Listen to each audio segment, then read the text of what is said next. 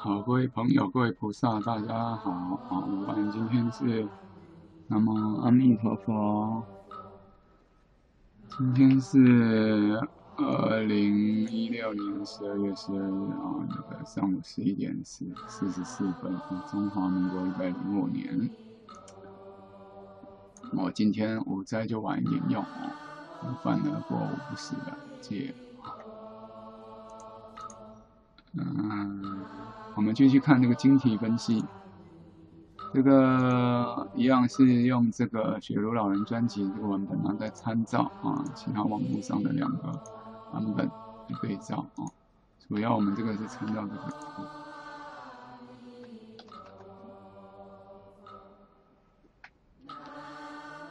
好，我们看已经复制过来了。上一次我们讲到晶体分析的这里啊，阿布汉格。好，这比较难啊，温习一下。我想不用温习，你直接看上一集就知道了啊。他说讲经者必先想其总总体和分布的结构啊，总观或者分场。来看一下李炳老的这个，你看他这个，这就叫大纲模式。上次有给大家看过简史里头的大纲模式，对不对？啊，那那等到我们讲完的时候，我们大概也会呈现他这种大纲啊。你看他这个当然没有退位了啊，甲下面还分乙。啊，然后甲一、甲二，整个内点讲座资源就主要就分甲一、甲二，甲一下面再分乙，有六个，这个就叫节次分位啊，是属于甲的部分呢，还是乙的位置啊？啊，那顺便补充一下啊。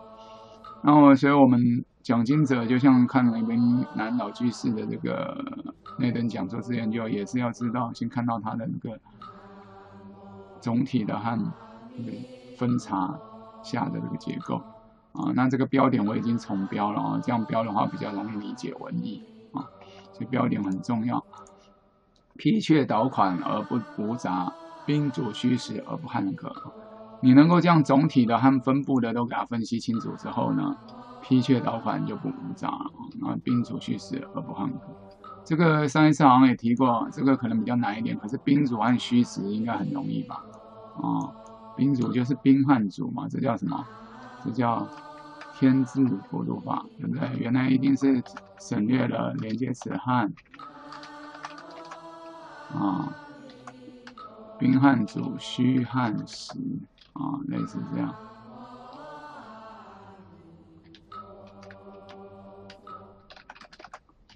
啊，这就是我们天字辅读法啊，天字还原。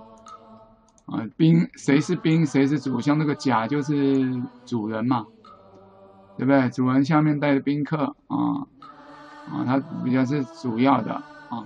那比较实际的，当然就是，如果以甲以这样看的话，当然甲是比较实际，乙是比较虚的。我这是举个例子，当然不一定是这样。那虚实主要是讲它内容啊，哪些是实讲，哪些是陪衬的啊，或者哪些只是不是那么重要重点。那汉格这都是成智慧能力了啊。那个白话应该还有这个词，可是未必每个人在使用过。汉格难通哦，汉格本来就是抵触啊，然后有点类似矛盾的意思啊，矛盾啊，冲突等等啊。来，我们查一下字典就知道了啊，这种。这念汉，你看这个字明明右边是念干，对不对？天干地支的干，为什么念汉呢？我们讲过，哥科喝是一组，七七西是一组，是不是？啊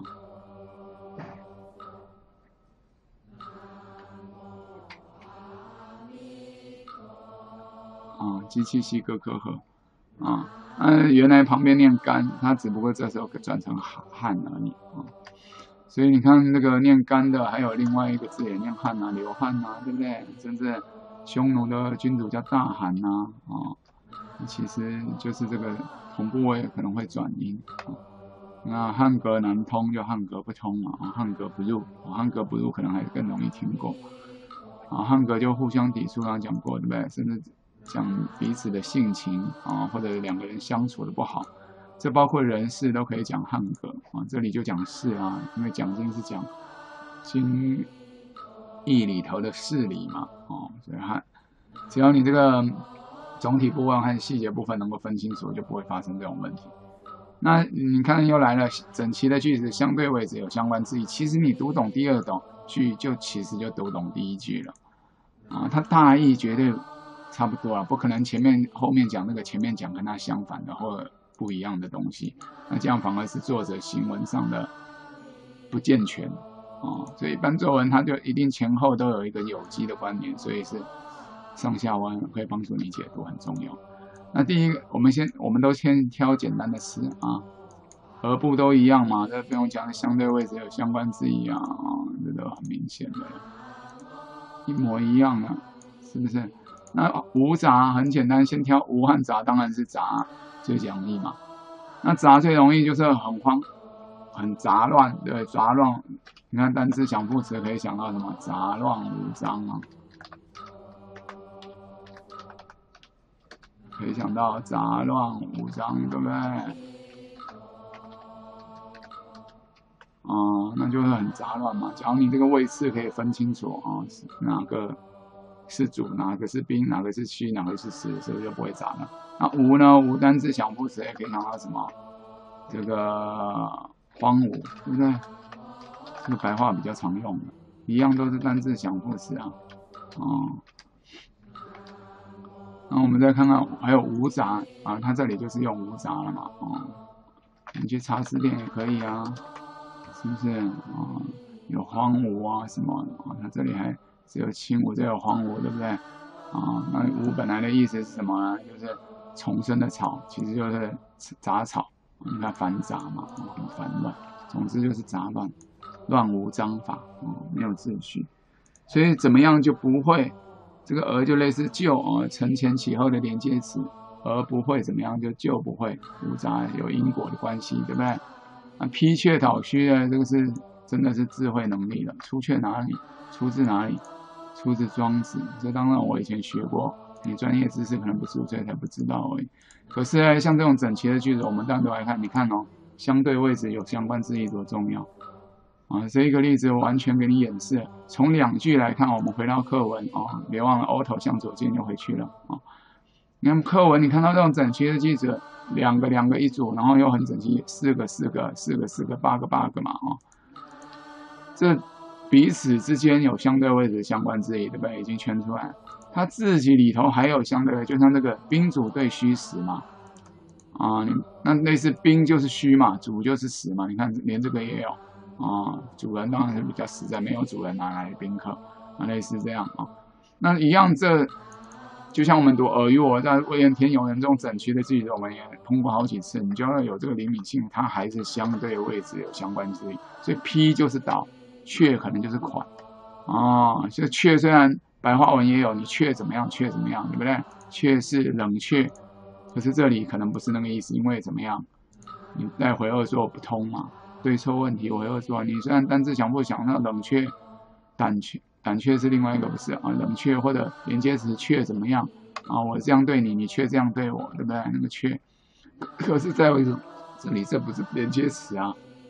啊，批而却怎么样吗？啊，好像不对，我也没叫你马上把这个答案丢哦。可是对错问题回二说，这个答案先搁着，不要光这样，还有别的方法可以解决吗？不是光单字想复制，还相对位置啊？你看。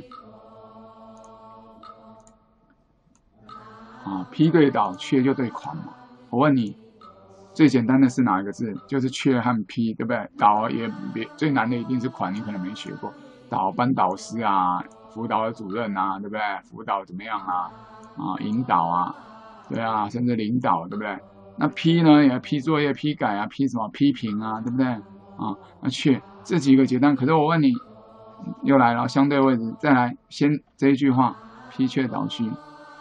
你先抓动词了没？你看需要用到几个方法？二六七啊，相互的。就像我给你这个降龙十八掌，你不是？你看那个《鹿鼎记》那个韦小宝，那个周星驰拍的那个电影，最后打败那个是《鹿鼎记》吗？还是什么？对不对？最后打败那个大武功高手是凭什么？十八掌连用嘛？是不是？不是一招一招，然后单独出去，当然再厉害的招式也被他打败。你要混着用哦，要这个连用啊，灵活的去用。这里不行，再用那个嘛。那么这个有一句话一直想不到啊，是不是？嗯，没有长法嘛，真正的高手就是没有长法，对不对？怎么会这样死板板？那刚开始学，我们当然死板板，你然后灵活用。刚好这个例子很好，就让你开始要灵活啊。不行，还有什么？你先抓动词啊，不要啊，相对位置还解不出来，单字想不死解不出来，就弃械投降。那其他方法有没有练？像我介绍给大家，我那时候学张耀元数学的时候，傻傻的就，即使我知道这个数这一题数学要用第五个方法，我还是傻傻从第一个数到第二个，我不会取巧。等到最后真的很熟练啊，第五个，所以为什么考试可以提早交卷也是九十一百啊？就这样啊啊！被一个同学说你在哪里补的啊？那个那个样子到现在还深刻我的心，因为我原来成绩差，谁会来问你啊？等到你哎，怎么突然随便都是九十一百，还提前交卷？啊，人家以为你得到什么，这就是开窍嘛。你们也是，国文也是，就像我那时候数学开窍，抓到要领，得到方法。刚开始慢，就像对不对？我们要跳远，你看哪个跳远选手不这样？一定要先蹲下来再跳嘛，不可能我直接跳跳不远，你一定要先屈然后伸嘛。你看那个虫爬行也是一样，一定是屈了，蛇或者蚯蚓嘛，对不对？才会伸呐。那一样，刚开始一定很不熟练啊，慢慢磨。可是磨久了，你还是要生，你不能就永远都是这样曲的，永远伸不开。所以这里你问你自己有没有先抓动词？你这个 P 一定是动词嘛？却，你看刚刚想到连接词还不是嘛？冷却可能还类似啊，却步，我因此却步啊，对不对？那个却步就退步，那时候也可能也对。所以 P 可能是动词，却也可能。那倒不用讲嘛，款反正你不认识。那款不认识，我我们就先读吧。导是动词相对位置，P A T P 确实也是动词啊。那也许这是什么同义副词，两个都动词，对不对？还有一点，刚刚无杂没有讲，无就是杂。你看这种句词汇啊，它会放在一起有什么特征？通常要么就是同义副词，对不对？要么就是反义副词，反义副啊，类似这样，甚至还有偏义。副词啊，通常最大部分都是这两个啊。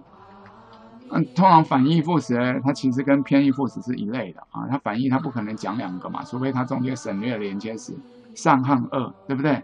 丙主主和宾就是反义嘛啊，类似反义啊。那它不能算偏义副词，因为它是两个都包含。偏义就是偏主一个，假如我说宾主的话，我主要强调是宾。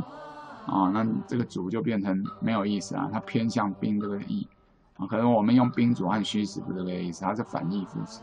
那反义副词它一定就是省略连接词嘛，我然后一一一个词汇讲反义，谁看得懂你到底要表达什么啊？除非你要讲这两件事当事情，两件事当用连接词里。那这个呢一样啊，要么就是无汉杂嘛，否则就是怎样，它就合成同义副词了。可是你也知道，无就是杂，刚看到有没有？不可能是这种反义，所以不会是连接词嘛？所以它就是什么同义副词，同义它就一定是同义，一样啊。批却像我们刚刚讨论到这，批却两个，假如都是动词的话，可能就同义动词，不会两个是反义的。那你到底要表达什么？不知道啊。可是，在接接下来款这个字，你虽然不认得，有一个东西帮助你，什么东西帮助你？字形结构，你看还用到第三个方法，刚才说六七二。第三招再来接，再接再厉。款里头有什么？有血嘛，对不对？可见这个导穴，你看又要导引穴里头可能会流水啊，或可能会通风啊，洞穴啊，是不是导款？就是不是导引什么东西通到哪里？哎，对不对？那劈的话，相对于导，它一定都是动作要劈什么？所以你至少你这个虽然都是绳子推得出来，大概他要讲什么，反正就是。你可能哎，回到二作对错问题，回二作啊，二作在讲什么作品？回到课文对不对？他在讲我要奖金的时候怎么样？嗯，才不会无杂，对不对？什么东西才不会无杂？位次都定位好了，什么东西不会无杂？然后主要的主题和次要的主题并就次要嘛，才不会有彼此的互相堵出。可见前面这个也是什么？我们可能在做什么什么的时候，才不会乱无章法杂乱。可见这个做一定是跟你要讲经或者读这个经题它到底是什么结构，去了解它或者去发挥它、诠释它的时候要做的一些动作。那他为什么用这个？可能就是拿这个动作来比喻我们在读解甚至讲解的时候这个动作而已嘛。我为什么要花时间讲呢？不要急着去查词典，虽然查词典是好习惯，可是不能光以像那个像我刚我刚刚讲查词典也算一个功夫嘛。这其实我们也有啊，就第十个嘛。你不要什么都靠第十个啊，这些有你有一次机会练习熟练了，自然慢慢。就会熟练，没有人家也不天天。你这时候才去查字典，我之前也讲过，你这样有推断的，心里有个谱，再去看字典，字典给你答案，它是权威嘛？哎，就像胡祥林老师三千遍大神起信任之后，再去读某一大师的注解，不是一开始读注解啊，开始读注解就等于一开始就查字典一样的道理啊。你自己有领悟再去看，请他们帮你作证嘛。何况你看查词典。我们查大一点，汉语国学大师里头，汉语大师，国学大师只要不灵光的话，就看着，打开这个网页可以啊，因为它也是汉语大师典的内容。你看怎么办都没有，哦，那怎么办？你还是得要自己读嘛，啊，所以这里分两条，一个是你自己读，第二个查词典。查词典没有也不要气馁，就像这个没没学过也不要气馁，冷静。去分析他、思考他，像诸葛亮这样，像佛菩萨一样，静、定、安、虑、得嘛，啊，没有怎么办？之前我们也演示过了，你可以少用一些关键字啊。你主要难的是什么？款嘛，那你就去查款，看到没有？批什么导款？至少三个字一样吧？自然只剩字中间这个，为什么他还写这个字形结构？来，我们应用一下。昨天要是没练成的，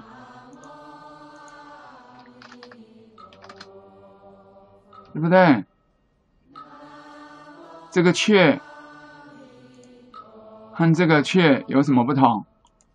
只不过它是耳部，我换成什么部？我换成这个节部嘛。啊，先啊，这个节部啊。这叫节啊，这个部首不一样，左边的骨还是一样嘛，就它可能只是字形结构换了所以这个雀，来，我们先先不看那个，先看这个，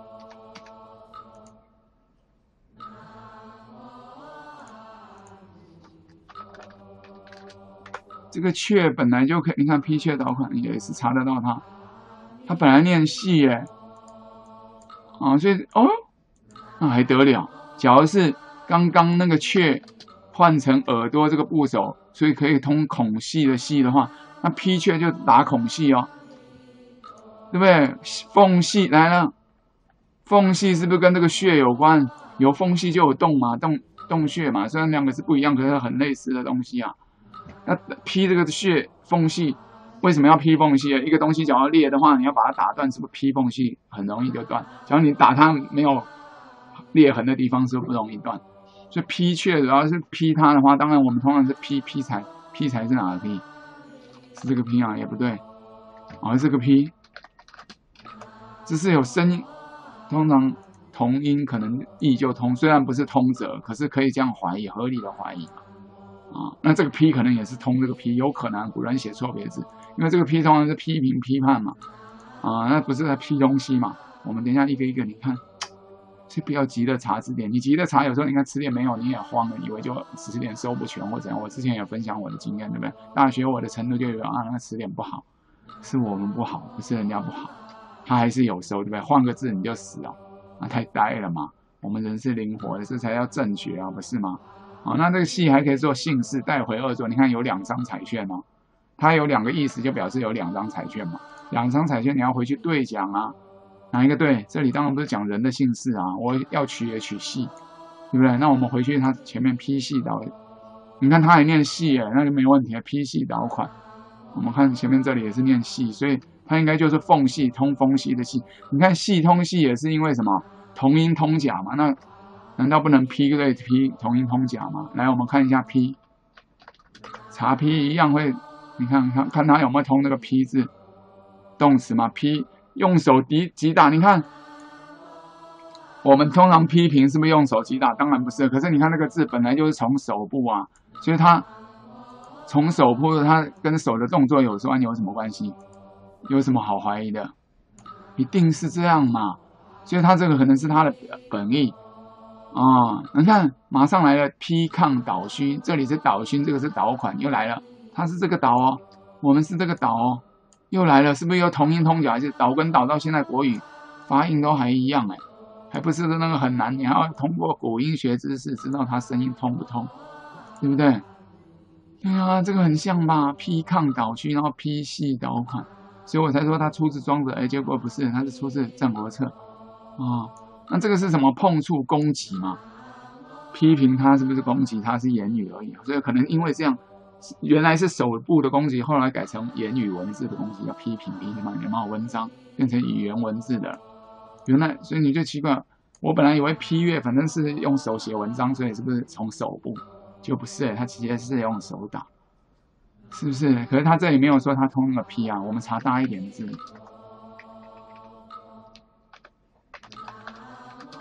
嗯，没有。来，我们看这个大一点的词典。这个假如慢的话，我们可以看汉典。哦，汉典蛮快，汉典它汉语大词典的内容藏起来，可是它啊那个详细资料这个它我是没有查。哎，怎么查成这个 P？我是要查这个跟那个有没有通？哦，你看，哎，找不到。啊，只有这个，这个是他引文不算。哎，引申为打攻击有什么？一头扎紧，一头劈成细条，那不是？啊，那跟那个劈没有关系。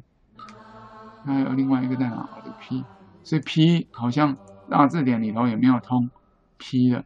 我们看汉语大字典嘛，大词大字典不是大词典，大词典有时候不比大词字典差啊，有时候解释还比大字典还要详细，很奇怪，我也不知道为什么。这个如果可以给它缩小或者变成直立的也是不错。你看，够用手，而且是手背反击，原来是这样哦，反击否手背去反。是 P 就有吉，你看 P 和吉是叠韵字，对不对？两个都是一的韵，看到没有？通吧，斜劈削不就是劈吗？劈削就是劈柴嘛，削柴啊。你看他不收，这里也没讲，怎么会呢？他应该哦有劈削，有啦，啊，可是他这还多了一个斜劈，对不对？他出现劈字啦。哦，一样嘛。可是呢，我们这当然是刚刚不知道，原来 P 就是用手背去攻击或还击，所以我们在想可能是通这个。那字典帮我们印证真的有通，是同音字啊，或者声音很像的，哦它会常会通，这没什么大学问。就像现代人会写同音错别字，那古人错了，你不能给他改啊，改了就不是他的文章，是你的，就是要说通假字。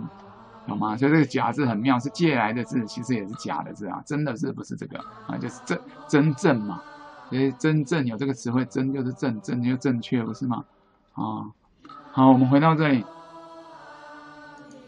看看 P 细，就查细吧。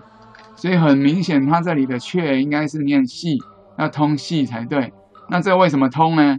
刚刚已经跟你们讲字形结构，换部首吧，你看。这个读这个花了多少招式啊？相对位置、先兆动词和单字想副词，对不对？这个交错的应用啊，啊，我们的课为什么那么花时间一起读？有价值，而且这边 I swear，我发誓佛弟子不能妄言，我不是先备课给你准备来上课，我上国文课还会这样。我们这个一起读的是，我没有。没有上哎，我虽然别的一起读，有时候可能会，可能我们这次李炳老这个，我以后可能也类似，啊，就像这一次，这一次是一个典范，一个是，以后就是我不会准备，我是跟你一起读白纸的，完全是一片空白的，没有任何的参考，所以很花时间，你就可以完全知道我怎么读懂它的，啊，不是先给你准备好，然后鸭子划水那个在水底下怎么划水都不知道，不告诉你，啊。来，回来看 P 系导缺导款吗？它是导导款。我们，哎，我们刚刚是有只有导款吗？都是啊，真的导款，因为我们是找导款嘛，对，导款，P 系导款，它这一定跑掉啊。还有，哎，款是什么？你看款是不是空？哎，你看，哈哈，系是系，对不对？这个同音通假字，款跟空有什么关系？哎呀，款跟空是不是都有穴？字形结构重不重要？哎呦，太重要了吧！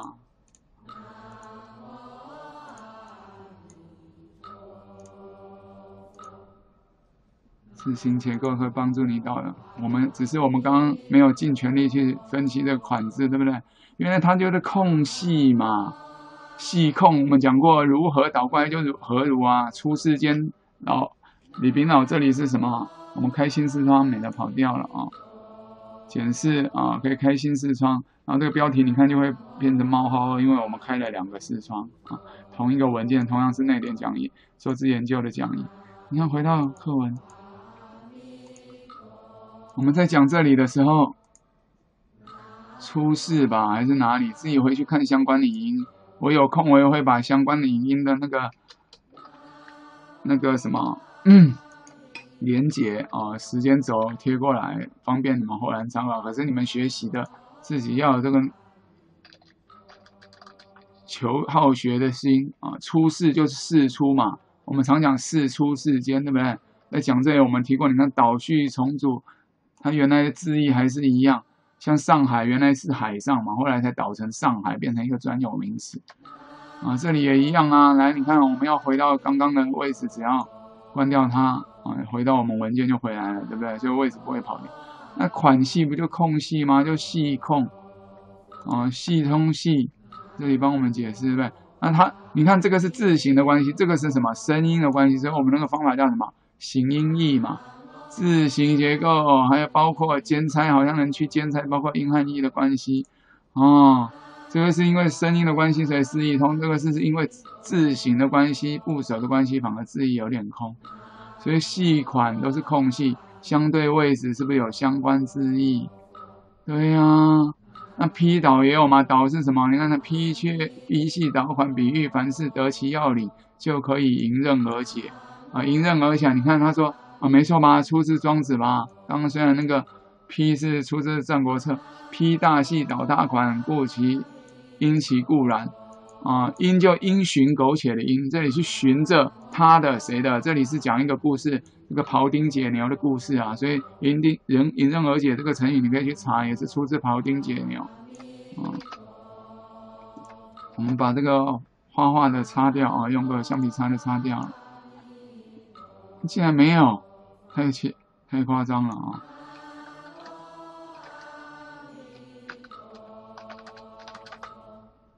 庖丁解牛是出自庄子嘛，就是养生主嘛。迎刃而解也是从这里嘛，因为庖丁是拿着这个刀去剖那个牛，所以那个牛的任何的关节就会迎着，迎就是逆啊。我们切下去一定那个肉的方向跟我们是逆方向嘛啊。迎接就是逆的方向才能迎接啊，顺着方向我永远接不到你，对吧？接不到球，就迎刃而解。哎，那个肉体骨头跟刀结合的地方就怎样，而就顺利的解开了，被劈开了。表示那个庖丁很会把这个牛解体啊，分解尸解啊。他如何那么厉害？因为他都是找那个大的隙，大的缝隙，然后找大的那个空隙啊，那个穴。穴道啊，或者空隙去杀，不是直接砍骨头，骨头你再利的刀也砍不光，他把刀子砍烂。他这里把牛解掉了，可能关节跟关节之间的缝隙中间有筋，切筋就容易啦，刀不会受损。啊，类似这样。那一样到底李冰老回到二说，我们这里是李冰老说一个文章，它有枝节嘛，它有各个文字连在一起。假如你可以把它的关节结构给它分析清楚的话，你就。任何难题，很像我们现在缩解和解读嘛，对不对？这样把它解读之后啊，任何难题难读的文章你都看得懂了，类似这样不就迎刃而解？困难迎刃而解嘛，是这样嘛？哦，所以批系导款而不无常，批系导款就是我们要解读这些文章，就好像杀那一条龙，割那一条牛的尸体肉体一样，对不对？我们就可以得其要领，就不会那么难读了。那当我们在解读这个文章的时候，就不会乱无章法啊，而且读得乱七八糟，甚至读不懂，甚至会错的原因，就是这样。它是借由批系导款来比喻读解读文章。你看我们解读是不是也要迎刃而解啊？对不对？你读懂一个东西，解读一个文字，也有这个解啊，迎刃而解的解啊，庖丁解牛的解，不是吗？这个解本来就是一个牛在右下角，有没有看到？是不是？它本来就有一头牛啊，在右下角啊，一把刀在牛的上面，是把牛跟牛角分开就叫解嘛？你看这有角，牛角，啊，就解开来。解本来的意思就是类似这样，不信我们查一下，你看有一个叫。古今文字集成的，对不对？我已经做成那个书签了，所以很快就可以找到。你看解字甲骨文原文，看它字源是有哪些字，对不对？本来就是哦，这甲骨文只有一个，本来可能是鱼的，还不是牛，有鱼有牛，还没有刀呢。哦，这不是牛，这是这是角，对不起，这不是鱼，哦，这是角，哦，这是角。你看这里才出现的刀，一把刀。啊，他的意思本来应该就是怎样把这个，你看看一下说文解释，看有没有没有的话，看史太语大字典，判也就是分割嘛，一刀两半就叫判，啊，从刀从判牛角，那原来你看用刀分割动物或者那个人解开，啊，这个汉语大词典啊，它可能是后来的啊，比较你要查这个。国学大师呢，因为它有扫描版，对不对？我们可以看到，它通常本意会放在前面，甚至会加以说明那个字的最初结构。哦，解释，你看汉语大词典，你看一下它扫描版。啊，不错，国学大师是最近跑的比较顺了。啊，那也希望大家能够像我这个，因为让它跑顺一点，会盖拿掉个广告啊，广告遮住。有机会也帮他点一下广告支持他，甚至捐款都可以啊，赞助他。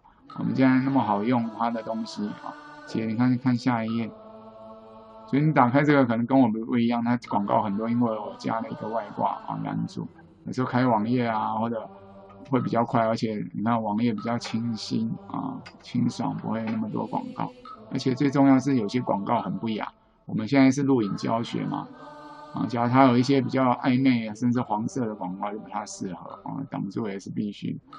你看它这里叫用刀分割动物或人啊，所以跟这个古今文字集成其实是一样，用刀分割动物或人嘛，它只它只不过后面的引文它就省略，它只取前面的解说啊。那这里有商乘作，就是我刚刚讲，他会对古文字的结构再解释一下。依训为字那边他讲这个这个解原来这个解这个字啊，你看它的写法。啊，有这样的写法，原来是象征着或形象啊，这个象是象形的象，象形两个手解牛角，两只手哦，啊，然后这两笔两个笔号下棋残弥啊，残弥就是牛角剩下的那个残那个残渣啊，你解开之后可能有血啊或者碎肉啊，类似这样啊啊，那两条不是。这是上乘座先生的说法啊，当然你必要认同它是一个参考。总之又跟解牛有关啊，所以庖丁解牛它其实是用本意啊。我们开蛮多的都关掉了啊。你看为这个花这个时间是干嘛？一定有它价值的地方啊，不是说我们爱鬼扯啊。你这样才真的觉得哦，我的国文程度真的是提升了，不是要给我一个注释或翻译这样啊。然后回来这个第一期考款一样。对不对？批就是劈砍，你看，看吧，对啊，是不是？这不是很爽吗？这些偶一大师帮胡小林老师印证啊。那导，你看辅导嘛，沿着什么？我们刚刚是说好像洞穴要让它疏通什么啊？他不是沿导也对啊。我们辅导就是让你沿着正确的道路走嘛。啊，导引我们说向导，对不对？啊，那旅游的向导导引也是啊，就是这样。那导款就是跟着这个款穴脉络的那个缝隙去走，啊，就不会去砍到硬骨头嘛，刀子才不会坏掉，牛又解得漂亮，哦，那就知道啊。那这里是讲解牛，或者不解任何问题，这里是指什么？解文章的问题，或读你讲经说法前对经文的理解，甚至要准备讲经的时候如何安排你的文章结构，都是啊，啊。就这样，完全都知道了李斌老这里为什么用这个的意思了啊！哇，已经三十五分，你看，啊，这虽然是这个词是指这哈，这虽然是文艺的墨迹，然意指事理赖事分明啊，岂能忽而不求，奢谈玄妙啊？这个什么东西呢？就是你能够把这个讲经的这件事啊，必先。哎，我们第一次讲这个“者”是指事情啊，这一件事啊，讲经这件事也可以。这里你要读成讲经的人也可以，因为讲也可以是动词啊。讲经是指一个动作，假如不止一件事的话，指一件事这里念“者”这比较对，对不对？名词加“者”。那假如是动词要偏重动词的话，讲经的人必先详明其总分结构，方能怎么样怎么样？好像也对啊。啊，讲经这件事必先要注意什么注意事项，也是对啊。对错问题，待会儿做，只要读得通的都是对的答案，不一定说一定是讲经的人或讲经这件事啊。这里是两个都可以有歧义的啊，两可。这这样，那这样的做法，你看，如果是他后面是讲记忆哦，所以这里应该讲事情会比较好，对不对？前后比较一致。假如你前面讲人，后面又说这虽然是文艺墨迹的话，其实也可以，它是指这这个词就是带什么？这后面这个些名字当然不是讲的啊，是啊。那假如你这里是讲讲经这件事啊，它这个词就会带整个这前面这一句啊。这样做虽然是文，所以我说读还是读成讲经这件事会更好一点，对不对？满分嘛。文讲经的人就不能带讲经的人啊。文艺墨迹人怎么会是技能呢？人跟技能不对的嘛，不能是啊。修辞上就变得有问题了啊。他就只能带这部分。可是，假如是奖金这件事，他就可以整个都带啊。这件事哪件事？就这一件事，我圈起来，那一那个反白起来的。虽然是文艺上的墨迹啊，知为墨解嘛。那那雕虫小技啊，墨迹墨就是比较不重要的，本墨嗯本当然比较重要，就像就像刚刚的宾主主当然比较重要啊。这文艺就不细讲啊，文章啊，艺术上啊，对不对？那这里当然是指读书上、文学上。或经文上啊，经学上的墨迹，不是最重要的技能技术。就像我们教你怎么读懂古文，也是一个技巧啊。其但是呢，然而呢，啊，然而嘛，单字想不辞就但是，意指事理却赖事分明啊。但是什么东西的意指，什么东西的事理，当然是经文里头的意思嘛，就是经学如海前面这里，对不对？啊，你是一定要把经体。所以就叫分析星体，晶体的这个总体和细部都弄清楚，经文里头含的意思，还有它的事理，还有赖这样的做法来分明啊。这个事也是此的意思，跟那个此一样，前面用此，后面用此换此。赖是依赖，依赖这这个又是此啦，此是这嘛，就代表是依赖什么东西往前找，依赖这样做，文艺墨迹就是前面这个。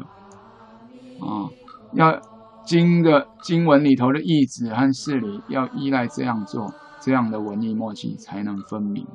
啊，分明我们就不要讲，不细讲了，时间也蛮多，以后都常会碰到，有机会我们再细讲。啊，那今天讲那个已经值回票价了。啊，那应该分明，也许你们都很清楚。啊，最重要是这里。啊，然意旨这是什么？先抓主词，什么东西的意旨和事理嘛？当然是经文，你讲经就是讲什么东西？讲经啊，还有回到二座，这里是经体，甚至回到前面序文讲经学嘛，是不是？啊，回到二座，别忘了前面谈什么，或者我们这部分谈什么主题？当然是经体，所以经体就讲这个经书嘛，经书里头的事理和意旨，意旨然后它的文意啊，它的要旨，对不对？它的佛旨，然后它的宗旨啊，它想要表达什么意思？所以这里主要是它省略了什么东西是意思是你补回去添字还原添对了。这里是因为他省略主词，你找对主词再添回去，这等于八和五的后合作无间，这里就破解了。但是这里比较难的是是此，对不对？赖你要想到依赖，不是赖先生赖小姐的姓啊，跟前面那个系一样，批系导款你不能用。那李炳老这里做却，因为雀和细只是换部首，你不信你查大一点。刚刚我没有花时间讲啊，雀和细是会通的啊。可是当雀和细通的时候，当然有时候是这个字念雀啊，有时候是像李炳老这里就要念细，不能再念雀了，因为它是通这个意，它是通这个细这个意是空隙的隙，所以这里要念披细。可是有一些文章你会看到它却怎么样？却是啊，我们讲的却是却，它却用耳朵这个却，这时候你这个字反而念念却，不能念细。像国语词典这里只收细这个音就不全了啊！你不信你这里查一下吧，我们就不多花时间了，因为刚刚这里略过。它也有通哦，它那同系对，来详细资料或者我们汉语大字典嘛，我来看一下。现在算我们就多看。你看，通细，嗯，怎么可能？它也有通阙，这个我觉得确定啊。古书看好多了啊，它议题都会写成那个，这叫什么大字典啊？太扯了啊！怎么会这样呢？那我们看汉语大词典可能还比较好啊。所以我觉得汉语大字典不知道怎么搞的啊，叫大字典有时候它是收字大嘛啊，解释不一定大。那你看，通系，第二个第一个是这个我里面第二个，第三个还信，哎，这也没有，怎么那么烂？那是什么油呢？我就不信，固训会转呢？古汉语词典呢？啊，不要怪我们花时间，这就是你看到我怎么把问题弄懂、怎么读懂的过程。所以有人来问我说：“你帮我注释翻译，你知道我后面背后鸭子划水用了哪些功夫吗？”我现在就是实境秀，全拍给你看。啊，你跟我要个注释翻译，跟我开个口就好了。就像那个网络上有很多要注释翻译，那你为你要学的是学我们这个，不是我拿给你那个啊，否则你永远也不会。啊，假借为戏一样，没个戏嘛？奇怪，那个却明明有啊，绝对不是我记，这个我是非常有，因为古书太常看到啊，那两个几乎在古那个以前你看的那个印的古书有没有？又来了，你看这里终于有了，对不对？戏是戏的异体字，却和。系的音译都不同，怎么怎么的啊？可是却啊，却表示退却，所以从这个，你看后世典籍常互讹，对不对？互相乱嘛。所以他这个比较严谨的说啊，我讲的比较不不专业啊，应该是互讹才是标准。我说通用是通用，其实也没错，那是什么？击飞就成事了，就变通用啊，金本尤胜这样。终于有了啊！我没有胡乱吧？甚至你查一体字字典啊，教育部一体字字典，要注意这个，它都会跳出一个不知道为什么啊，我有封锁它跳弹出的视窗。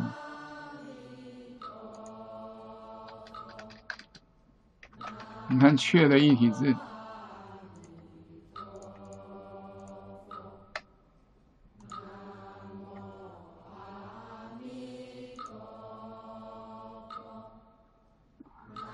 本来会跑出一个弹出式视窗，不知道为什么这个后来都跑不出来了！看一下这里有没有封锁啊？预设是封锁，那我就永远执行吧。可能是因为他没让他弹出这车商，他就一直给我出错啊。嗯，你查确有没有这个议题。哇，那我看是他有问题喽。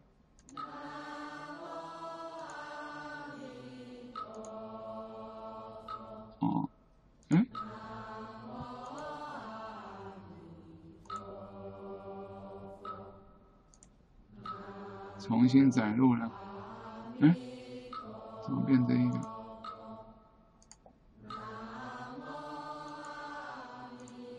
根据我的意思引起。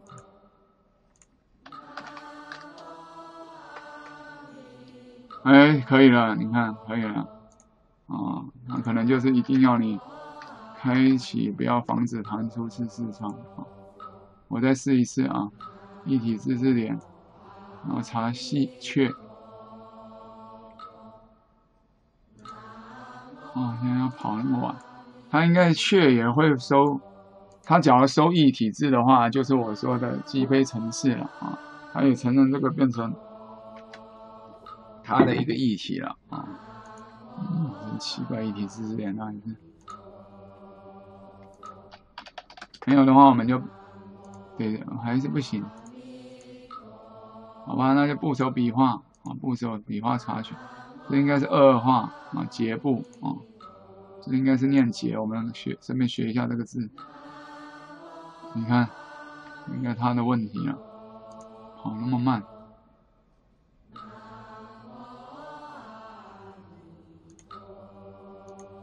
啊，那有点卡卡的，啊，七画，没有，有吗？啊，读不出来算了啊。那有一个另外一个异体字字眼，你，可以看这个网站啊，这个网站也可以看到异体字啊，和它异体字这个不是那个，还有一个汉典也可以啊。哦，确所有这些有没有看到？可是它这个是多了两撇的细啊，不是那个细，嗯。所以他认为，哦，多了四个来。他认为这个是，你看他这个说他是的，你看我们点进来嘛，这个是他的议题，结果他又是他的议题，那不就表示两个通？对啊，啊，反正就混乱。只有刚刚那一本字典讲的最严谨啊，他说是讹误啊，就是错误啊，大家弄错了，因为字形太像了，弄错了啊，反正是两个事。这一件事虽然是哪件事呢？啊，前面提这个啊，要先详明其总分结构。这一件事虽然是文艺的墨迹啊，所以结我们刚刚讲说整个都带啊，其实它最精华是讲一个啊，必先详明其结构这个才。然义理事理赖这样做法，要详明总分的结构，总分的结构才能分明。岂能哪里能够怎么样？忽而不求，忽就忽视嘛，不看重。而不去讲求它，啊，你也可以翻成追求啊，求求得什么？你看我刚顿了一下，就是追求不太对，赶快再想另外一个副词，这个哪个方法？单字讲副词嘛，带和二字觉得不大对，再换另外一个讲求就很棒，对不对？讲究，对，从讲求想到讲求，再从讲想到讲究，翻回来带回二字去翻，哪里能够忽视而不讲究呢？对不对？啊，不是就最好了吗？啊，这翻译是这样来的，先解读再翻译，奢谈玄妙啊，哪里能够忽视而不讲求，然后呢不讲求反而跑而去奢谈玄妙啊？你看他这里讲墨迹其实是本迹呀，啊，他这里当然谦称这里虽然是实之之为末节，可是却是所有讲经的根本。为什么？从他后面这一句就知道。为什么也会有人奢谈玄妙？因为不根据经文嘛，不根据原原来经文怎么写，它的篇章结构不是总分，啊，总分的结总总体的结构或部分的结构来根据新闻去阐发，而是用自己的理解在那谈玄说妙啊，就是谈玄谈玄说妙嘛，啊，你看他用一个谈字刮了下面两个字，对不对？然后再用一个奢字修饰谈字，啊，懂吗？啊，所以奢是形容词。奢奢奢就是什么此，单字讲过奢侈嘛，所以有一个词汇叫此言此谈，对不对？此谈此言就说大话，就是此你看有右边有多的意思，多就有大的意思。我们讲奢侈也就是挥霍挥霍无度嘛，挥霍量很大，所以它都有大啊。这里奢谈玄妙就大谈玄妙啊，大说特说啊，谈玄说妙啊。啊，他只是没有说妙，对不对？那说拿掉，应该凑要凑成四个字。那这里奢字就强调你这种谈玄妙是很奢奢侈的、不切实际的啊，大言不惭的大，对不对？有奢侈的意思。好，我们这一节课刚好五十分钟就到此圆满啊，谢谢大家。那希望等一下我再花点时间好，本来今天一节课就好了，因为这里哇花好多时间。可是这样实进秀实际录起来，你也知道如何读懂。你今天来跟我要注释翻译，我也是这样读懂，花了一个钟头五十分钟的时间啊。那今天这五十分钟完全秀给你看了啊，实进秀完全露给你看，你拿去就是你的啊。以后有困难，也许要花那一些时间，可是不会像别人就读不懂，老师去跟人家要注释翻译。好谢谢大家阿弥陀佛阿弥陀佛。